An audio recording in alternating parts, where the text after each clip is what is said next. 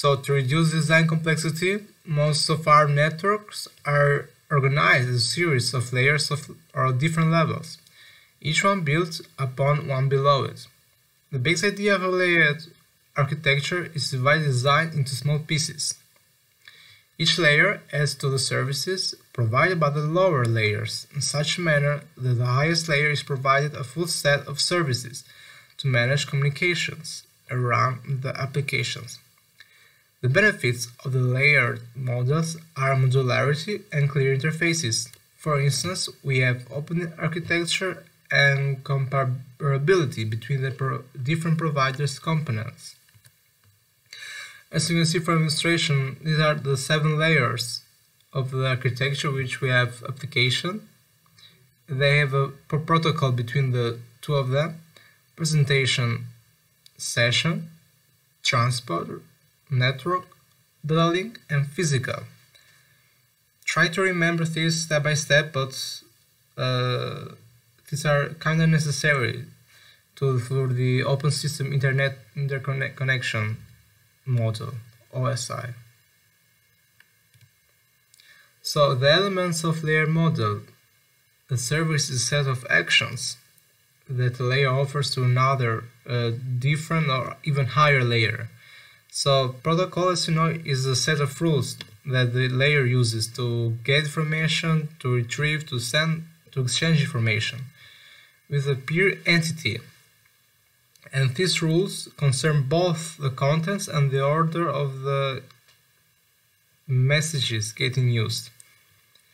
Now, between the layer services interfaces where there, where there are defined the messages, message come uh, from one layer to another are sent through different inter interfaces. They define which primitive operation services the lower layer makes available to the higher one.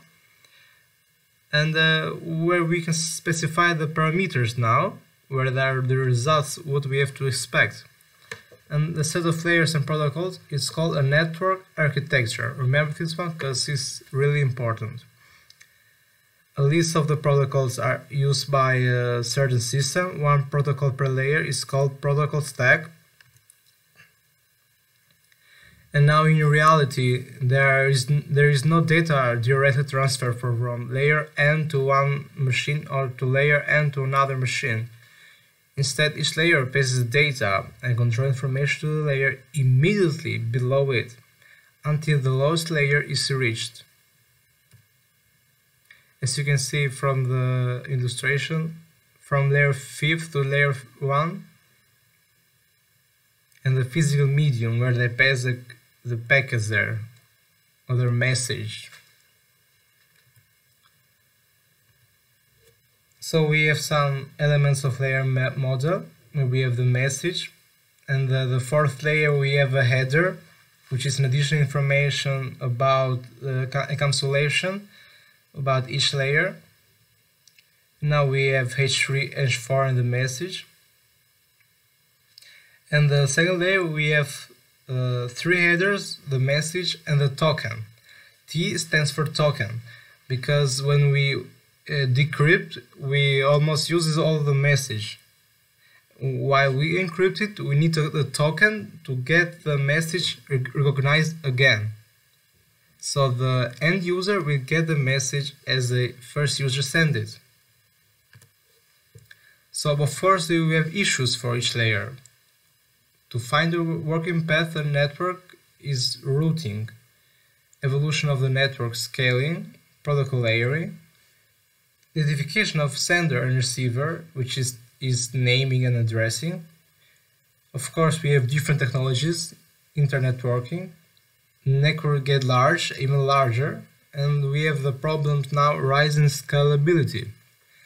Of course, we have to share network bandwidth with the statistical numbers and multiplexing, how to keep a fast sender from swamping a slow receiver with data, which is flow control. And of course, QoCC, quality of service and security, are also important issues there. OSI, which I mentioned before, open system interconnection versus TCP/IP, which is transmission control protocol, Internet Protocol Networking Model.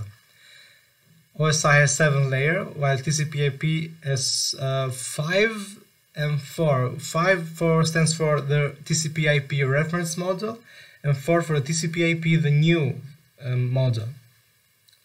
Of course, on the application layer uh, our TCP and OSI model, we have application, presentation, session. We have protocol DNS, domain name system, DHCP, dynamic HCP for uh, checking the IPs, FTP file trans, uh, transmission protocol, HTTPS, hypertext transmission protocol security, IMAP, LDP, NTP, POP3, RTP, RTPS, SSH, SIP, SMTP, uh, which is SMTP, SNMP is mainly used for 5 fifth generation 5G. Telnet, TFTP.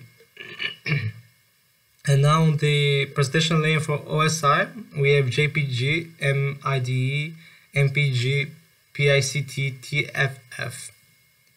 Of course, on session layer we have NetBIOS, some of you might know it. We have NFS, PAP, SCP, SQL, zip. On the other transport layer uh, to the TCP/IP and OSI model, we have TCP UDP, which stands for Transmission Control Protocol and UDP.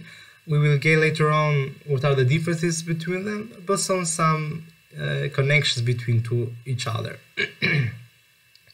Of course, on the internet layer and network layer, we have ICMP, IGMP, IPsec, IPv4, IPv6, IPX, and RIP protocols. Uh, currently, we are in the IPv4 versions of IPs because there are a lot of IPs to be considered to reunize again, but I don't think they will be ended for now, for like in a period of five years we will stick to the with the IPv4 because there are a lot of IPs to if you calculate all them all. But it's gonna take some years. On the link layer and the data link layer, we have ARP. Uh, don't worry about uh, about these protocols because these are really uh, mentioned in the next presentation, next chapters. So don't worry. ARP, ATM, CDP, FDD, and frame relay for the cloud, really, really cool and really important. SGLC, MPLC, PPP, SCP, and token ring. While on the physical layer, we have Bluetooth, Ethernet, DSL, ICDN, 802.11, and Wi-Fi. Now, the OSI, Open System Interconnection. Of course, it defines and references a large collection of protocols that allow computers to communicate with each other the OSI reference model describes how information from a software application in one computer moves through a network medium to a software application to another computer. As I said before, OSI Open System Interconnection has seven layers application layer, presentation layer, session layer. Now we go with transport service, which is transport layer, network layer, data link layer, and physical layer. Now we have the layer functionality. We what each layer do with a, quick definition. Application it provides user interface GUI, graphical user interface. Uh, 6.6 layer presentation, which presents data and handles encryption and decryption from the first user and to end user. Fifth layer we have session, which maintains a distinction between data of separate applications it provides dialog control between hosts. Fourth layer we have transport, which provides an end-to-end -end connection. Also provides reliable or sometimes unreliable delivery and flow control because of TCP and UDP protocols. We have network provides uh, uh, logical addressing. It also provides path determination using logical addressing on the third layer. And on the second layer, we have data link layer, which provides media access and physical addressing. On the physical layer, which is really important, and it converts digital data so that it can be sent over the physical medium. which would, would move between different hosts. On the la first layer, we have physical layer. It is concerned with transmitting raw bits over a communication layer, which is transmission medium. The design issues have to do with making sure that when one side sends a 1 bit, is received by the other side as a 1 bit, not as a 0 bit. The design issues are largely dealt with mechanical and electrical and time interfaces, as well as the physical transmission medium, which lies below the physical layer. As you can see from the uh, photo, from the anim animation, we can see the transmission medium where the packets are there, the bits, 10101000 etc and the 1010 etc to the from the upper layers to the upper layers. Physical layer which stands for the medium layer and set the connection between hosts and set the message and packets to the end user the second layer is the link layer it defines the protocols for delivering data over a particular single type of physical network. It also transforms raw transmission facility into a line that appears free of undetected transmission errors. Of course, the sender break up the input data into data frames. Uh, there are a few hundred or few thousand bytes and transmit the frames sequentially it's uh, the sender usually calculates the checksum and sends the checksum together with data. The checksum allows the receiver to determine when a frame has been damaged, intrinsic, or received correctly. This is called the error, uh, error detection and correction. Error control protocol returns a positive or negative acknowledgement to the sender. A positive acknowledgement indicates the frame was received without errors, while negative acknowledgement indicates the opposite. The flow control prevents a fast sender from overwhelming a slow receiver. For example, a computer can easily generate data faster than a PC can consume it, of course, because computer is more powerful, powerful than a usual computer and will send more faster and more heavier data than the usual computer can handle it. On the third layer we have network layer. Is concerned with getting packets from source all the way to the destination with the routing protocols. In, uh, interface between the host and the network. The network layer is typically the boundary between the host and subnet. We have the key design issue, how packets are routed from the source destination handling congestions where too many packets present in a part of uh, the network causes packet delay loss that degrades performance. These are some of the issues we have with the performance. Of course, internetworking, a path may traverse different network technologies such as internet, point-to-point -point links, etc., uh, ad hoc, P P P2P and the fourth layer which is transport layer it provides transparent uh, transfer of data between the edge system or host and is responsible for end-to-end -end error recovery and flow control. It ensures complete data transfer, accepts data from above it, split it up in smaller units if they are needed to be, pass this to the network layer, and ensure that the pieces all arrive correctly at the other end. The transport layer also determines what type of service to provide to the session layer and ultimately to the user of the network. These are some of the functions we have the transport layer, which are multiplexing user ports, error recovery, flow control using windowing, connection establishment and termination, and order data transfer. On the fifth layer we have session layer, it manages the dialog control. It allows traffic to go to one both direction at the same time or only one direction at one time. Of course, this is some from animation token, which has said the, the T in the header, which stands for token.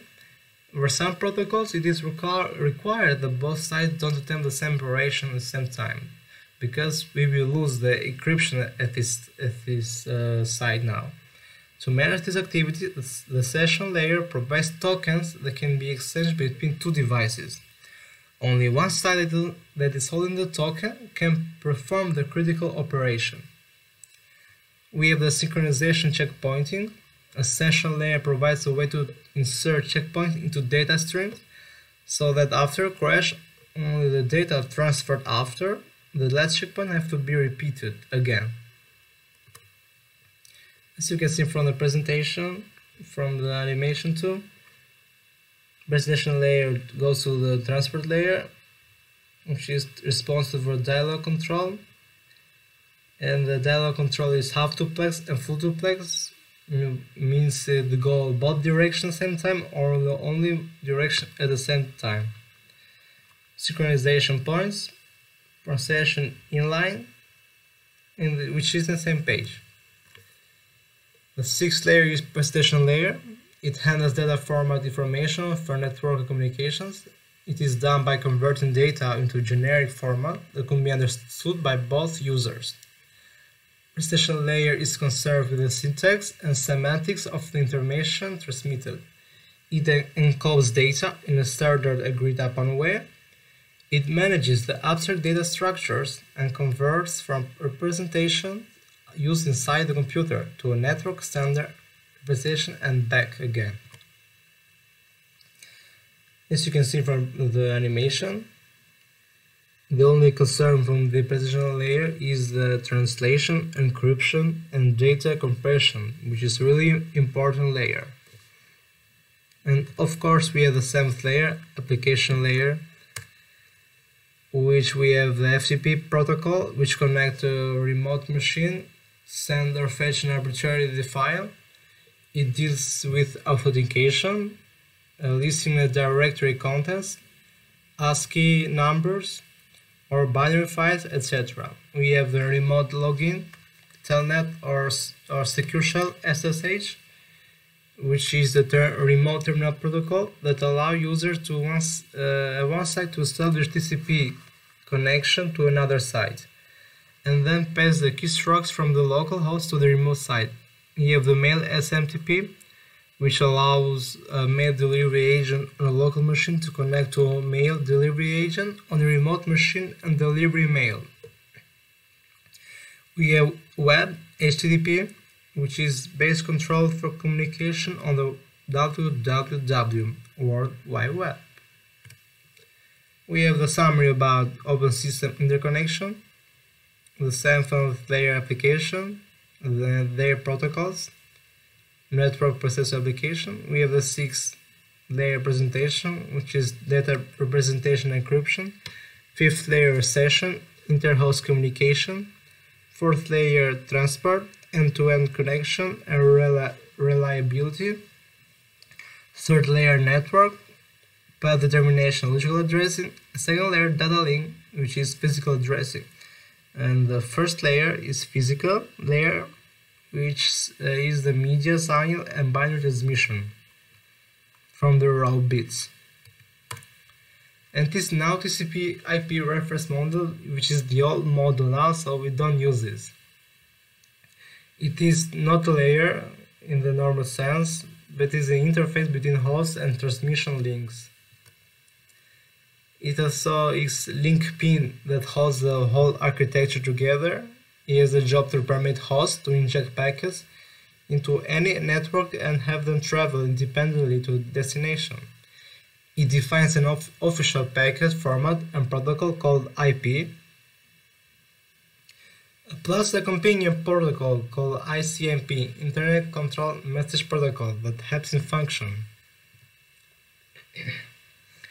As you can see from animation, the TCP IP module, where the uh, transport layer moves the data between applications on devices in the network. We have two end-to-end -end transport protocols which have been defined. TCP, which is more reliable connection-oriented protocol that allows a byte stream originating on one machine to be delivered without error or any other machine in the internet. It segments the incoming byte stream into discrete messages and passes each one onto the internet layer. and UDP user datagram protocol is an unreliable connectionless protocol. Applications simply include any session and presentation function that they require, and the OSI model and TCP/IP. And the summary about the TCP/IP is that application layer generates the data and requests connections. It is a group of application which requires network communication. A fourth layer for TCP/IP is transport layer, which establishes connection with remote hosts and establish connection between different hosts now. The third layer is network layer, which transfers the packets with the virtual IP addresses. It is responsible for creating the packets that move across the network. The second layer is data link layer of the MAC address, which uh, transfers frames with physical MAC addresses. It is responsible for creating the frames that move across the network. And the first layer is physical layer is a transceiver that drives the, sign, the signals to, on the network. It transmits and receives raw bits. Now what is the difference between OSI and TCP/IP? Open System Interconnection or OSI is a generic protocol independent standard acting as communication gateway between the network and, and end user. The only strength of the OSI reference model is the model itself, which proves them to be exceptionally useful for, uh, useful for discussing computer networks. While TCP/IP model is based more on the standard protocols around which the internet has developed. It is communication protocol which allows the connection of hosts over a network. The TCP and IP and OSI architecture models both employ a connection and connectionless mo models.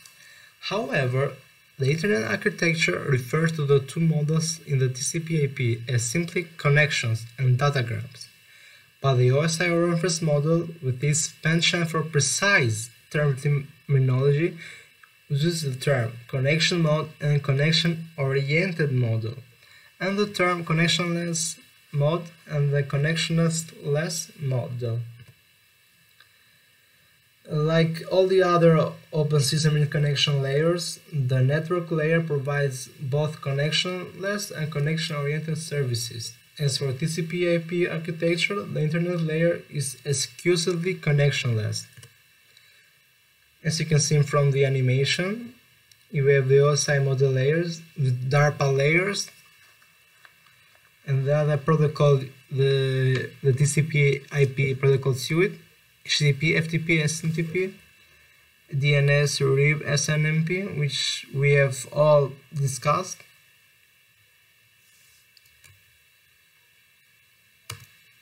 And uh, DSL, which stands for this digital subscriber line modem, takes digital data and translates it to high frequency tones for transmission over telephone wires.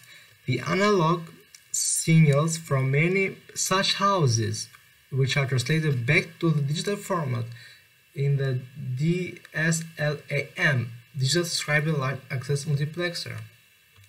As you can see from the animation DSLAM, the analog signals which are translated into digital format as you can see from the internet, net telephone network, another home phone, and DSL modem. The splitter, if you know, is the splitter that the little box that we use to connect the phone and the network and the DSL modem. We have shown in the lecture. Yeah, yeah, that one. Yes, it is. And we have the existing phone line 0 to 4 kilohertz phone, 4 to 50 kilohertz upstream data, 50 kilohertz to 1 million hertz to downstream data. Any of the switches?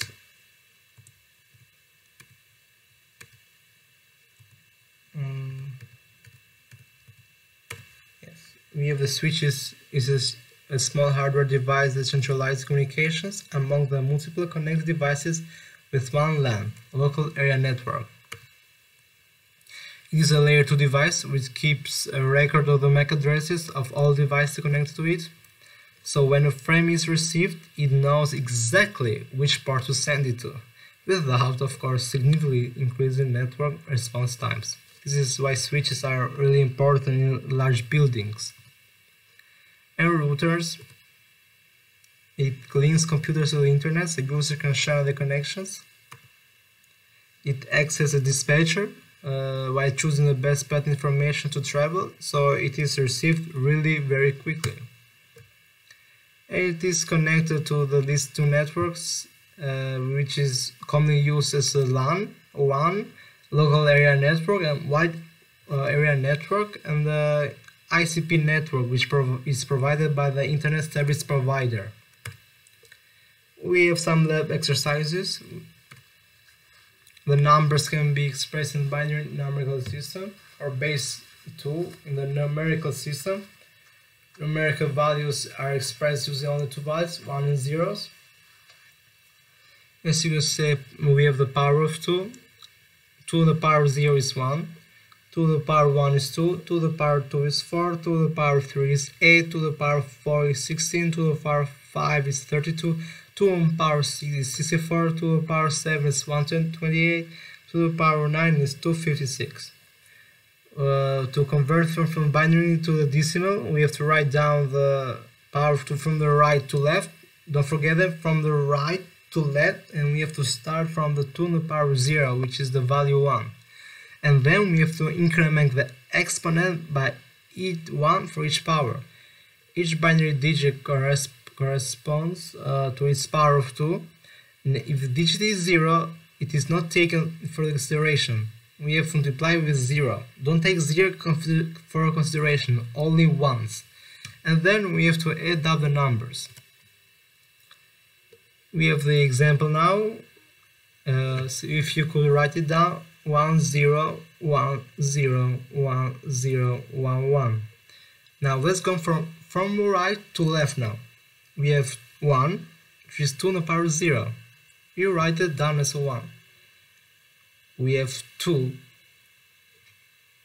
in the power 1, which is 2 now. We have 0. We don't take into consideration. We have 2 in the power 3 now. Write it down as 8. We have 4. We don't take that to the power 4 to the power 5 we take that 32 write it down to the power 6 we don't take that to the power 7 we take that because it is a 1 128 and as we add them all up the value is 171 did you find it oh okay okay oh yes great good for you uh, don't worry about it. We'll have a lot of exercise about it. Yes, 171. Okay. So we have some other exercises if you want to go. We have more than one octets. It's really easy, don't worry. Just don't forget the from left to right and add up the numbers. Don't take zero for consideration too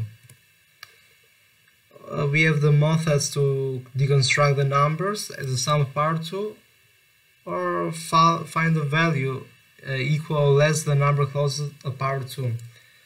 I've taken the example now, a 13, where I've deconstructed it, which is 8 plus 5, 8 plus 4 plus 1 to the power 3 plus 2 to the power 2 plus 1 to the power 0 equals to 1 times 2 to the power 3 plus 1 times 2 to the power 2 plus 0 times 2 to the power 1 plus 1 times 2 to the power 0 which is 1101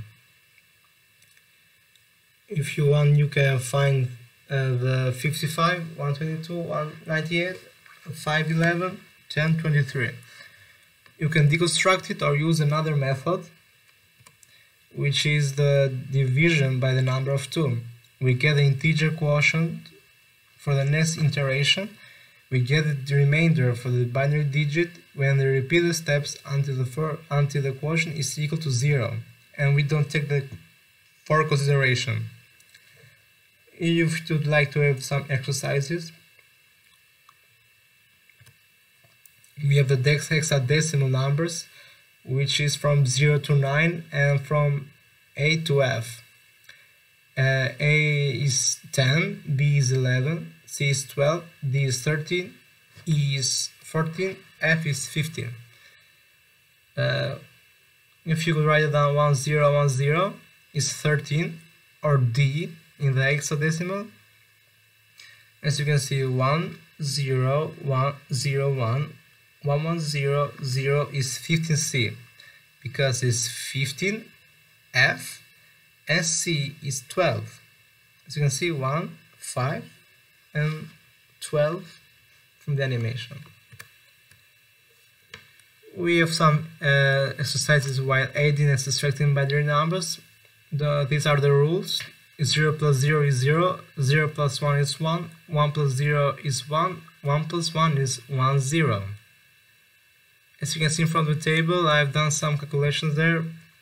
Uh, 1 plus 1 give us 0 and save it for the number uh, 1 to the next state, the next column. Now we have 1, 1, 1, and now we have 0 1 0 and now we have left with 1 a sign which will give out 1 0 and the result is 1 0 0 1 0 which is 18 of course we have subtraction which is 0 minus 0 is 0 1 minus 1 is 0 1 minus 1 is 0 0 minus 1 is 0 but we have to borrow the 1 from the other column. As, uh, as you can see now 1 minus 1 is 0 because 0 minus 0 is 0 0 minus 1 is 1 because we borrow from the other column and the result is 0 1 0 0 or the decimal number 4 so that's all. Thank you for sticking out with me. And hope to see you uh, uh, tomorrow with the